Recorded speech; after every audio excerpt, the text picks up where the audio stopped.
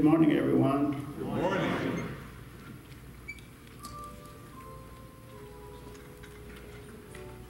The scripture that we're going to be speaking from today is from the book of Mark, chapter 1, verses 16 through 20. And it reads as follows As Jesus walked beside the Sea of Galilee, he saw Simon and his brother Andrew casting a net into the lake, for they were fishermen. Come, follow me, Jesus said, and I will make you fishers of men. At once they left their nets and followed him. When he had gone a little farther, he saw James, son of Zebedee, and his brother John in a boat, preparing their nets. Without delay, he called them, and they left their father Zebedee in the boat with the hired men and followed him. This morning, I would like to speak with you from this subject. Is Jesus calling you? Amen. You may be seated.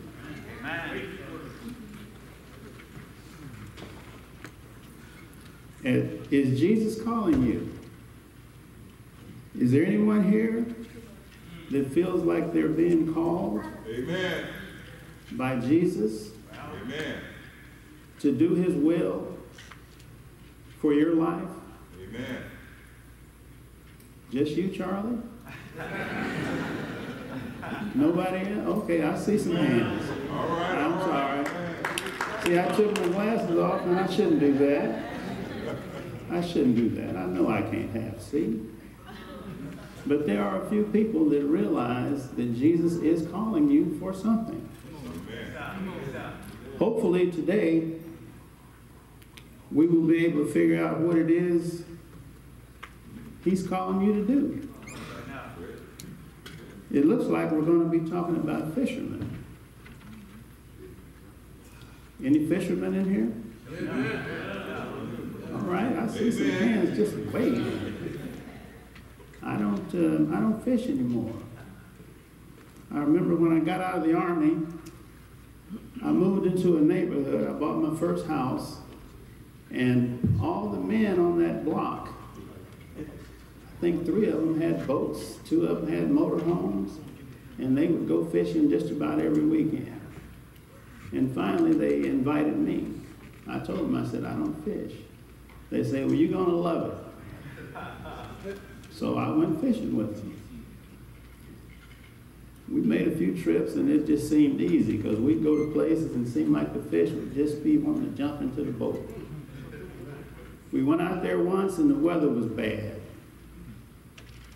And uh, nobody was catching anything. That whole weekend it was cold. The whole weekend we never, there was one fish caught in two and a half days. And I caught it. Amen. The rookie caught it. That's what they used to call me, the rookie. I caught a fish. Nobody else caught a fish. And I'm like, you guys, you guys told me you've been doing this for a while. What's up? They said, man, that's just luck. I said, no, I got skills. I'm playing the game. I know I hadn't done nothing. It just fish got on my hook. But I never let them forget it. And after that, they were a little hesitant to invite me. But I was so much fun. But anyway, Jesus, he was turning men that fished for fish, he wanted to turn them into men that fished for other men. And on. That's what he wanted them to do. They had been out fishing all night, and as morning broke, the night yielded to day, and the sky turned from black to blue. The first rays of sunshine revealed some hard-working men busily engaged in their occupation. Those men were used to seeing the sun rise over the Sea of Galilee. They were fishermen, and their job required them to fish during the cool of the night when the fish were feeding. After a long night of fishing, all that was left was to clean the catch, mend the nets, and sell the fish to those who sold in the markets. It was a hard life, but it put bread on the table. Some of you sound like you know what that's all about.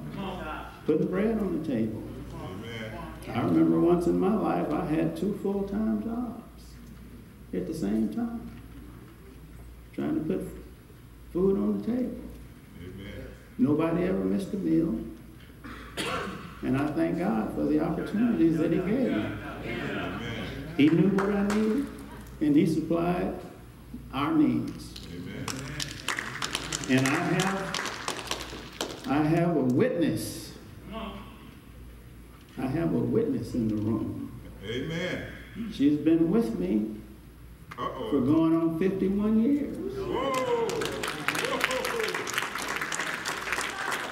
And she knows how hard I why I don't like getting up off the couch now. but I did it, didn't I? Thanks to the Lord, I was able to do it. As they were fishing their work, finishing their work for the night, so they could go home and rest their weary bodies, a man that they all knew passed by on the shore. He spoke just a few words to them, but what they heard would forever change the course of their lives. And as a matter of fact, they changed our lives Amen. over 2,000 years later. These same men have changed our lives. Do you agree with that? Show enough. that they may have that may have been the scene when Jesus passed by the boats where Peter, Andrew, James, and John were working. His call to those four men forever changed our lives. The public ministry of the Lord Jesus Christ is just commencing. That's when it was beginning. One of his first acts is to choose some men to assist him in his work. He was calling ordinary men to do the extraordinary work of God. And he is still calling people to come to receive salvation today. He is calling them to come for service. He is calling. Our text reveals something about this matter of the Lord's call. This passage reveals several characteristics in these verses concerning the call of the Lord. One thing you should know is that the gifts and the callings of the Lord are irrevocable. Did you know that? Come on. Come on. He's not going to take it back. Come on. I'm standing here today because he wouldn't he wouldn't uh, revoke the calling that I avoided. For approximately 30 years. My God. Come on. Come on. I'm just I'm, I'm gonna I'm gonna if, you know, as long as I'm here, I'm gonna tell you the truth. There's no way I'm supposed to be beginning my ministry at the age of 70. That's what happened, but that's not when he called me. Well, he's real, brother. Is he calling you? How long have, has he been calling you? And you haven't answered. Do you know that you will never get a more important call? You never will. I don't care how long you live. You're not going to, I don't know what you're waiting on, but it's not going to happen. There are several characteristics of these calls, and I'm going to try to go over them. Number one, his call is personal. This is seen in the fact that he walked up to those boats and called those four men specifically. Other boats were anchored on the Sea of Galilee that morning, but he called four specific men in those two specific boats. He called them personally. So it is with us. The call of the Lord is an intensely personal matter. He calls us, He deals with us, He does so one on one. When Jesus called them, He found them working. Peter and Andrew are casting their net, John and James are mending theirs. It seems that His call to them fit perfectly with their personalities. For instance, Peter and Andrew were always casting the gospel net. They were either preaching fiery sermons or they were bringing people to Jesus. They were casting that net. They were busy with evan- evangelism. On the other hand, James and John spent time mending the gospel net to ensure that the fish did not swim away. Their main emphasis seemed to be the progression and growth of the church and the body of Christ. The same word that is translated mending is used in Ephesians 4 and 12. There it is translated perfecting. Amen. Sometimes the church needs mending. Amen. They were busy with edification. My God. Yes, sir. You familiar with that word? Amen. It's to instruct and improve, especially in moral and religious knowledge, to uplift, to enlighten, to inform. That's what these men were all about. Both of these ministries are desperately needed by the church. Amen. The point is this the Lord designed and gifted each of us individually and for a specific purpose. He will take us with our strengths and our weaknesses, and He will use us to do His work. Amen. Not all of us are gifted in the same way, right. but God has a job Yes. For each of us to do. The question is, are you doing what the Lord has equipped you to do? Take us up. Where He has called you to do it, or are you trying to serve somewhere you shouldn't be? Don't miss the fact that Jesus called men who were busy into His service. He did not go looking for lazy men to carry out His work. Now, I know we don't have to worry about that at this church. Far too many want the Lord to use them, and they sit and wait for Him to come by. He has already placed you in His family. If you will just look around, did you look around? You will see that there is plenty of work you could be doing. He loves you, and He will show you what to do and where to do it. He doesn't leave you wondering. He's very specific about what He wants you to do. He was specific about what He wanted me to do. But just to be perfectly honest, I didn't want that. That's not how I envisioned my life. I didn't. And I look over here, and there's the same number of men that Jesus encountered that morning. You see how he works? I needed an example. One, two, three, four. There they are. Can somebody please just say amen at least one time? One, two, three, four. And the thing about it is, I love these men. The support that they give to me. They know I'm an old rookie. They know it. But they treat me with such kindness.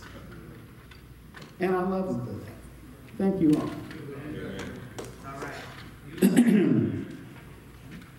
Luke 16 and 10 says, He who is faithful in what is least is faithful also in much. And he who is unjust in what is least is unjust also in much. This event describes the second encounter these men have had with Jesus. The first time they met him, they were called to follow him in salvation. They are called into his service. Regardless of what this life leads you into, the most important thing in the world is having that first all important meeting with the Lord Jesus Christ. If that doesn't take place, nothing else is going to matter. Did you, did you hear what I said? I'm just checking. Getting saved, however, is not the end of the road. After the Lord saves us, He wants us to move deeper with Him. He desires that we become disciples. Did you know that? Did you know that? Yes, sir. All right. then Jesus said to his disciples, Whoever wants to be my disciple must deny themselves and take up their cross and follow me. Ephesians 2 and 10 For we are God's handiwork, created in Christ Jesus to do good works, which God prepared in advance for us to do. Regardless of the type of call that comes our way in life, whether it be for salvation, sanctification, or service, or separation or surrender, that call needs to be heeded and never ignored. Right. His call is private. When Jesus passed by that day, the real call was felt in the hearts of the four men who left all to follow him.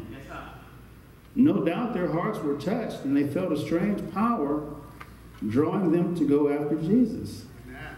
But you notice that neither Zebedee, the servants, or any of or any of the other fishermen received the call that day. So it is with any call from God. No man knows what is happening in a person's heart until they make the fact of what God is doing public. His call is personal and private. It is between the Lord and the person with whom he is dealing. Evidently, the Lord had been dealing with the hearts of these men since they had first met him. That explains why they reacted instantly when he called them to follow him. I wonder what is the Lord saying to your heart today? Is he calling you to be saved? Well, If you don't know the Lord, I hope that's why he's calling you. Is he calling you to some kind of Christian service? Uh-huh. Is he calling you to leave all and follow him? Right. Can you imagine him telling you to just come and follow me? Don't worry about your family. Somebody will pick up the slack. Could you imagine that? Your wife is saying, hey, hey, what about the babies? I don't have no job. What about the income? What you gonna do? I'm gonna follow you. That don't that don't sound plausible. That, that it just that wouldn't work with me. That wouldn't work with my wife. Hey, I can hear her now. Sometimes she calls me Carl.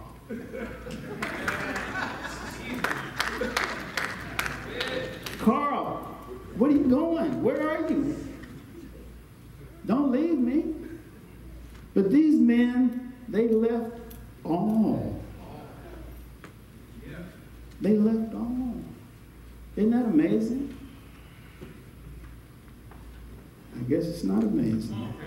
Amen. His call is, is public. The Lord does his work privately, but he gets no glory until his will is worked out publicly. These men are called upon to make a public stand for Jesus. They are called upon to publicly line up with him, his preaching, and his program. Amen. Through the years, there have been a few servants of the Lord who tried to keep their love for him quiet. Joseph of Arimathea, being a disciple of Jesus, but secretly, for fear of the Jews, asked Pilate that he might take away the body of Jesus. And Pilate gave him permission. So he came and took the body of Jesus. Joseph's attempt at a private service did not last long. God did not save us and call us so that we could hide ourselves away and pretend that we're just like everyone else. Come on. That's not what he did. Come on. His call demands that we take our stand with him, regardless of what others may say about us. Today, far too many Christians are members of the Secret Service. Tell it, tell it, tell it, You know what that means? Y'all know what the Secret Service means? It means your salvation is a secret from all your people, all your friends. Nobody knows you have a relationship with God. You're in the Secret Service. That don't count. That doesn't count. That don't count. Come on. Come on. Come on. You have to have an open relationship with your Lord and your Savior, Amen. Jesus Christ. Amen. Nothing else will do. Amen? Amen. We live in a world filled with people who could be headed to hell. Right. They are trapped in darkness. They are lost and need help. Amen. One of the best ways we can help reach them is to live openly and honestly for the glory of God. We are called to be salt and light Amen. In the world. Our duty is to live a clean, holy, and public life for the glory of God. Amen. If the Lord has saved you and you have never made that fact known publicly, right. you need to do that today. Right. This is a real good day for it, okay? If you have never followed him in that, do it today. Amen. You'll never get a better opportunity. Right. If you've never followed him in believer's baptism, you need to make that step. If the Lord has called you to be on the job for him, the time to hide your light under a bushel is over. Right. Now is the time to go to work for the Lord.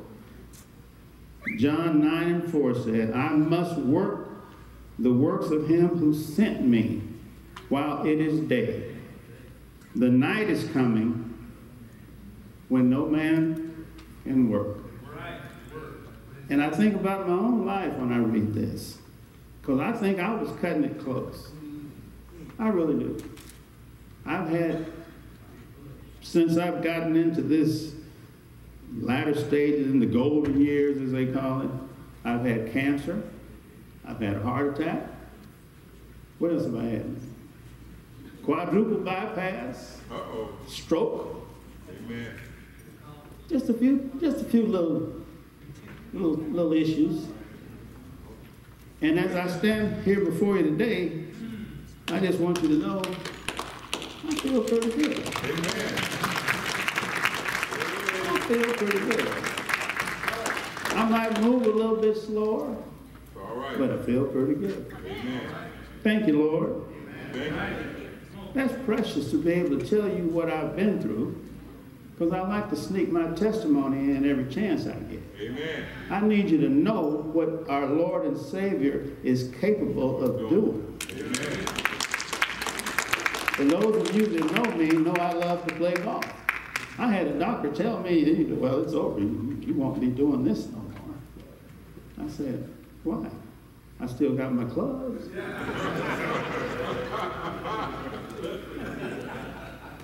I got golf clubs everywhere. My wife, she get, she just, oof.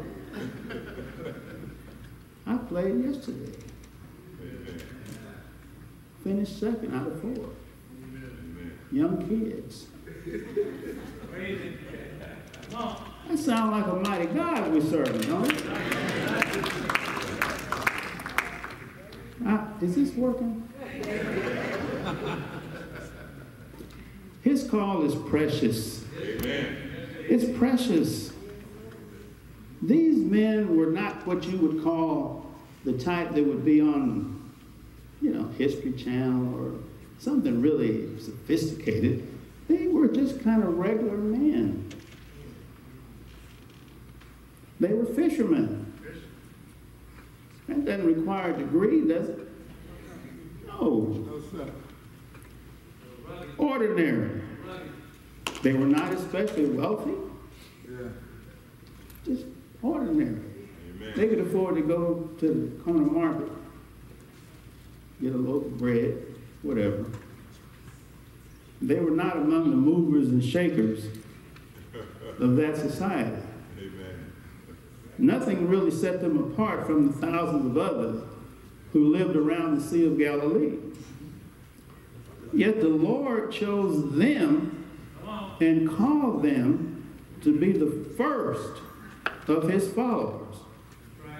That's special to me. What a privilege. They got a song, something about what a privilege. It's a privilege.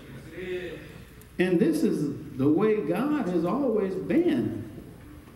He locates his finest treasures in the most obscure place. I can remember when he chose David. David had like seven brothers. It was eight of them. David was the youngest, smallest, but yet he was chosen by God. Same God chose Moses, who at the ripe old age of 80 was a murderer and a fugitive from justice. I think that's in Exodus. I don't have time to be reading. I can, I'm just trying to. He chose Abraham from all the thousands of other men who lived in Ur of the Chaldees. Right. Good word. It's in Genesis 12. Amen. And then this one, I just, I don't know what God was thinking. I don't. But I'm gonna, I'm gonna give him a, the pass that I always give him. He chose Paul. He chose Paul to do all these things. Paul hated the church. He hated Christians. He hated Jesus. He hated Jesus. And Paul wrote, uh, it's 40, percent of the, the New Testament, whatever. You know, I, I had it figured out, but I lost it somewhere. But do you understand what I'm saying? And then I don't want to overlook any children because sometimes he decides he's going to use a child Amen. to do some things. Yes. But he once chose a small boy and he took the little boy's lunch. and he fed a multitude of 5,000 people. Now, that's the kind of God I'm talking to you about. Amen. Now, if you still don't want to accept him today, then you just hold on to this negative stuff if you want to. But you're going to miss out on something really special. Amen. Come on. We're talking about the creator of all things, which includes the universe. When they start talking about the universe, they're talking about hundreds of millions of miles away. And oh, I don't get that, you know. How do you even measure it, you know? But that's a mighty God. Part of why he did this, God has chosen the foolish things of the world to put to shame the wise, and God has chosen the weak things of the world to put to shame the things which are mighty. He need he don't he don't he don't owe us an explanation. Amen. He don't owe us nothing. Yeah. He's already died for our sins Amen. and wiped our slate clean. Thank you, Lord. Come on. The very fact that a person gets saved and then is allowed to serve the Lord is a privilege and a blessing beyond comparison. Thank you, Jesus. After all, we deserve to be in, in a hot place. And I'm not talking about Bakersfield. This is what he does. Never take your salvation for granted. Amen. What he did when he called you and saved you is a thing more precious that the, than the mind can comprehend. Amen. If the Lord is calling you to come to Jesus for salvation, do not spurn his call. Come on. If he is calling you to, to a deeper level of service, do not hesitate, Yes, but go full out for Jesus. Amen. His call is precious. Very. Amen. There's no guarantee that you're going to make dinner today. You might drive out of here and you may not see the next stoplight. Yes. That's the way life is. Amen. Does anybody believe me? Come on. I'm an old guy. I've seen a lot of stuff. I hope that round of applause believe I believe you. His call is pricey. These men were called upon to make some real expensive choices. They were called upon to leave their friends, their family, their fortune, basically the only life they had ever known.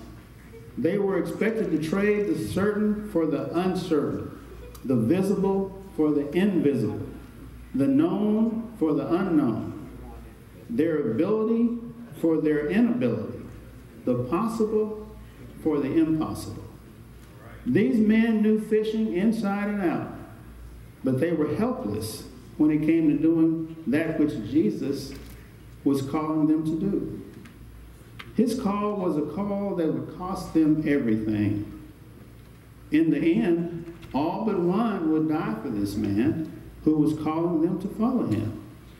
This call was a pricey call for every one of them, yet determined that the price was worth paying. The Bible says that they forsook their nets. That means they severed all ties with the nets. They walked off and left everything behind. Yeah. Jesus was worth more to them than anything they may have been walking away from. What good is it for someone to gain the whole world yet forfeit their soul? Or what can anyone give in exchange for their soul? Any answers? Anybody know? Zero? When the call of Jesus comes in your life and mine, we need to understand that often it will cost us plenty. Of course, his salvation is free, and his power to serve is given to us freely by, by grace. But the cost of being saved and of selflessly serving the Lord is often a high price to pay. there will be those who will not understand it when you get saved. Amen. They will not understand the change in your life.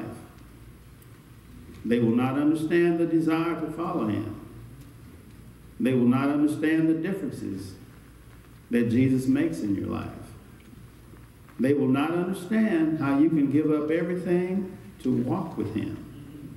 It won't make sense to them. They'll question you. And as a result, many will turn their backs on you and have nothing further to do with you.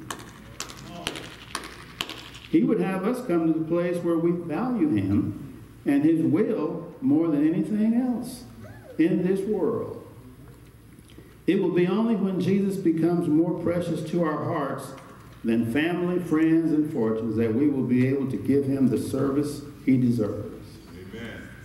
Sometimes what we're called to give, give up is nothing more than nets, tools. I like my tools, man. This is the last set they had, and it's Sears, you know. But we're talking about tools. Sometimes what we are called to give up is nothing more than nets. At other times, we are called upon to walk out on things that are really precious to us. Amen. We have to come to the place where Jesus is more precious than anything in the world. Amen. If anyone ever tells you that serving the Lord is an easy road, they lying to you. There will be trials. There will be some self-sacrifice. There will be problems. There will be enemies. Even with all the difficulties that rear their ugly heads as we pass through this world, Jesus is worth it all. Amen. Is he calling you to be saved? Is he calling you to simply serve him? Let me encourage you to delay no longer, Amen. but to come to him and get busy for the Lord and for the glory of God. His call is so powerful. When the Lord's call came, these men left their nets and their profession without question. They did not call a committee meeting. They did not have a debate. They did not take any votes, did not inquire about a contract or a length of service, how long you going to keep me around. When Jesus called, these men left everything to follow him immediately. They stepped out of their boats, they stepped away from their lives, they followed Jesus, and they experienced a powerful change of life. Their lives were never the same again. When they left their nests, their boats, their incomes, their friends, and their families, they took on a new lifestyle of just doing what Jesus was doing. And the main thing Jesus was doing, he was walking a lot. Just walking. When they started out after Jesus, they began walking in his direction to his destination at his speed and in his steps. That's what serving Jesus is all about. When they walked away, they were never able to make a return to the old life. they tried, but they could not go all the way back. Jesus changed everything for these men. Their lives were never the same. In fact, Peter, James, and John were martyred for Jesus, and John was boiled in oil and exiled to Patmos. But John's life was spared before he was sent to the isle where he wrote the book of Revelation. When the call of Jesus uh, comes to a life, whether it is for salvation or for service, it is a powerful call. Amen. when the Lord calls, He is not looking for a debate from you, He is looking for instant obedience. Amen. His call begins with it a powerful change that takes place in the life of the one who follows Him. This change is so great that a return to the old way of life is difficult to imagine. Therefore, this is 2 Corinthians 5 and 17. Therefore, if anyone is in Christ, he is a new creation. Old things have passed away. Behold, all things have become new. His call and our obedience to his call will result in our leaving our path to follow his path. In our walking in his direction to his destination at his speed and in his steps. It is so powerful that the person called wants to forsake everything that stands between us and our walking with him. There are those who have experienced the call of God to follow him. Still, they choose to hang on to the things of the world. He said to another man, Follow me. But he replied, Lord, first let me go and bury my father. Jesus said to him, Let the dead bury their own dead, but you go and proclaim the kingdom of God. Still another said, I'll follow you, Lord, but first let me go back and say goodbye to my family. Jesus replied, No one who puts a hand to the plow and looks back is fit for service in the kingdom of God. His call is profound. All these men knew was the life of a fisherman. When Jesus called them to follow, he made them a promise that was framed in words they understood. He told them they would still be fishing, but from now on, they would be fishing for men. Instead of casting their nets into the Sea of Galilee,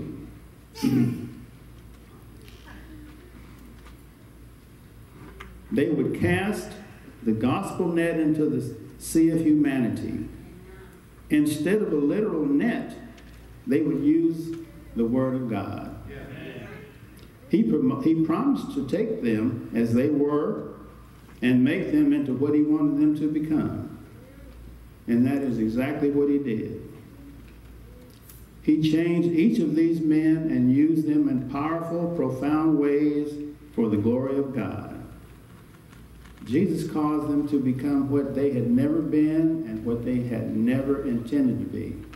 When his call comes, you can expect some changes to take place. I know when it comes to preaching the Word of God, I just believe that when you're called to preach, I don't believe that, I'd say 99% of the, the preachers, I don't think that they really, really know what they're doing or what they're getting into when they begin. But the Holy Spirit works in the heart of the child of God and he prepares them for service to the master. The best thing you can do is to place the clay of your life into that hand of the heavenly potter. Place yourself at his disposal and watch out. He will use you. He will have you up all night. That's not such a bad thing. After all, the greatest ability is availability. God will use you if you will make yourself available to Him. When Jesus came walking by those boats that day, those four men were not wasting their time. Two were casting nets. This was important because if you do not cast a net, you will not catch any fish. And just like today, you got to fish hard. If you want to catch fish, you've got to fish hard. You know what I'm saying? They were busy, but they were not doing anything of an eternal nature. In other words, they would have lived their lives, caught their fish, raised their families, died, and been forgotten. If Jesus had not called them into a new life, when they followed Jesus, their lives instantly possessed eternal value. God used them in ways that still impacts the world today. That is what he does to every life. Amen. He touches. He takes us away from the mundane and the shallow and places us in a position where we can be a part of something that will last forever. As I close, I just want to ask you a couple of questions. In which world are you laying up your treasures? Do you know? Would you like to live a life of eternal significance? Amen. Is Jesus calling you to come to him today for salvation, for sanctification, for service? What will you do with his call? This altar is open right now. Just as he passed by those boats by the Sea of Galilee that morning, he is passing by your heart right now. I know he is speaking to someone right now. If he is calling you, the time to come to him is when? Right now. Will you respond to the Lord's call? Will you come to Jesus? The doors of the church are open. To God be the glory. Thank you. Family Community Church of Fresno is empowering millions of people around the world through dynamic preaching and teaching, humanitarian aid, and many other ministry efforts. For additional information and resources from Family Community Church, please visit www.familycommunitychurch.com or call 559 323 5002. We love you and look forward to serving you in the.